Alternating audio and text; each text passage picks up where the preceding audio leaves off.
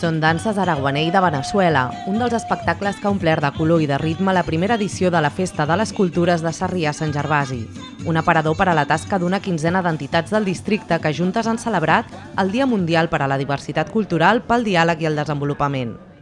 Tenim ONGs de cooperació internacional, entitats que treballen més amb la llengua, el British Council, l'Institut Francès, i és una mica per fomentar també la, el diàleg, el diàleg entre les cultures.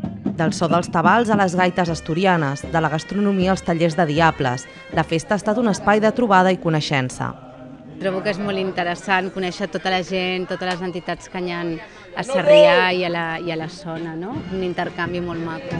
Amb aquesta festa, les entitats també han pogut mostrar com treballen i quins projectes de cooperació desenvolupen, a més de l'artesania i els productes típics dels diferents països. L'associació de dones els hi comprem la crema de karité de Burkina Faso, d'un poble que es diu Gicologo.